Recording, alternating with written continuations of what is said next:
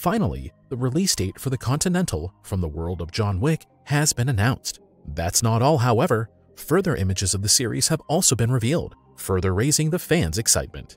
In the course of the San Diego Comic-Con 2023, the release date of the much-anticipated John Wick series was revealed. The Continental is scheduled to premiere on September 22, 2023 on Peacock in the United States.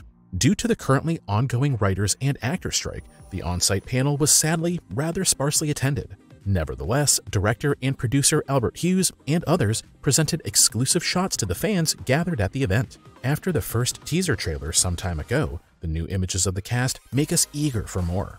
For example, we see the young Winston, played by Colin Woodell, standing in an elevator, presumably in the eponymous hotel. We likewise get a first impression of Mel Gibson, who will play a New York gangster boss and the current manager of the Continental named Cormac. His intimidating appearance suggests that he is unlikely to hand over the Continental to Winston unopposed. Mishel Prada will embody a female police officer from the NYPD. She too seems to be in the Continental. This could indicate that much of the action will take place inside of the hotel. Also, we get to see a first look at Ayomide Adegun as a young version of Charon, a faithful sidekick to Cormac. The brother and sister duo, Lou and Miles, played by Jessica Allain and Hubert Point-Du Jour, will also be involved and will create some buzz. We can hardly wait to delve back into the world of John Wick.